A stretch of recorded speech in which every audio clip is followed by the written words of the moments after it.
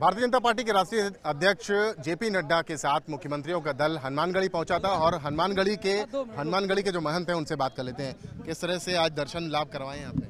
आ, पहले तो पूरे देश को ढेर सारी शुभकामना बधाई उनके लिए उनके लिए करारा तमाचा है जिन लोगों ने सनातन धर्म संस्कृति को बोको हरम से जोड़ दिया जिसने हिंदू को आई बता दिया जिसने हमको भगवा आतंकवादी कह दिया जिसने राम सेतु को नगारा जिसने हमको काल्पनिक कहा उनको देखना चाहिए किस प्रकार से भारतीय जनता पार्टी के सारे मुख्यमंत्री जेपी नड्डा के नेतृत्व में दर्शन और पूजन कर रहे हैं। यादगार रहा राजू दास? जी ये पूरे सनातन धर्म संस्कृति के लिए गर्व की बात है।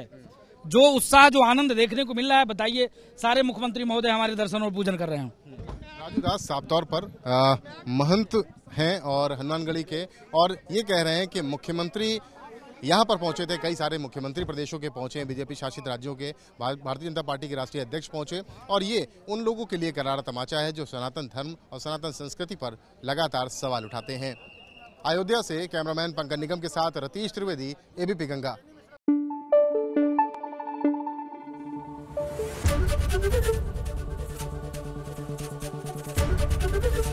एबीपी गंगा खबर आपकी जुबा आपकी।